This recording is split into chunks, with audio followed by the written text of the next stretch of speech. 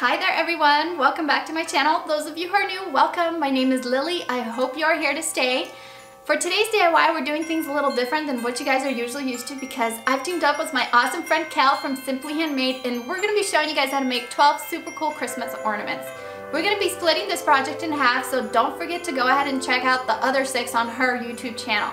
A few fun facts you guys might want to know about these Christmas ornaments is that you can upcycle your old ornaments and they are super kid friendly to make. So I hope you guys have fun making them over the holidays.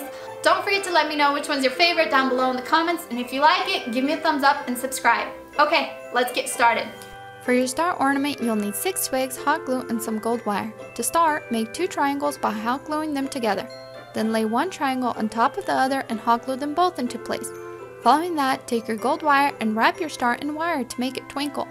To make your rustic candlestick ornament, you'll need a rustic stick measuring at about 5 to 6 inches, an almond, a clothespin, and some pine sprigs with some hot glue. To begin, you'll need to attach your stick to your clothespin by hot gluing it. Then, do the same with your almond and attach it to the top. Following that, add your pine sprigs to cover up your clothespin, and that's it. For your upcycled plaid ornament, you'll need a piece of square fabric, an ornament, some scissors, and string. Simply wrap your fabric around your ornament to see the approximate size square needed, then cut your fabric to size and wrap it around your ornament. To finish it off, use your string to secure your fabric into place. To make your upcycled apple ornament, you'll need an old plastic ornament, some tin snips, fabric, hot glue, chalk, a twig for the stem, and some pine sprigs. To start making your apple, you'll need to take your tin snips and make a hole at the top of your ornament. It needs to be about 3 fourths of an inch in diameter. Then, you'll need to mark an X on your fabric and place your ornament on your X. Following that, roll your ornament around marking with chalk for the approximate size of your circle. Cut your fabric out at about 1 inch bigger than where you marked it. It doesn't need to be a perfect circle. Then place your ornament on the X and wrap your fabric around and into the ornament, sticking the extra fabric into the hole you made. Finally, take your twig and add some hot glue to the end and stick it into the ornament. This will keep the fabric in place. To finish it off, attach your pine sprigs with some hot glue.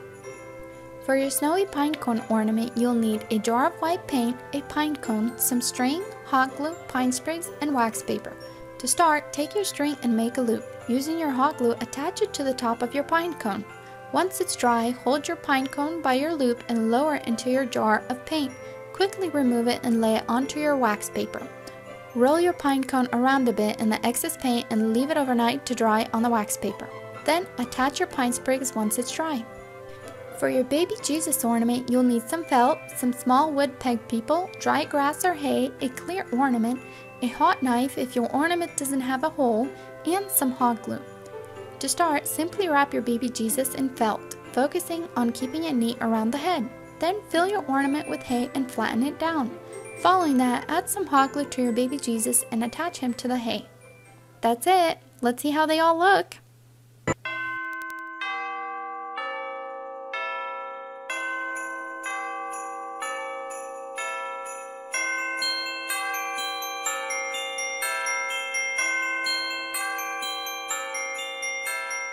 Hope you guys love those six Christmas ornaments. My favorite one is definitely the apple because it is a super fun way to upcycle an old ornament.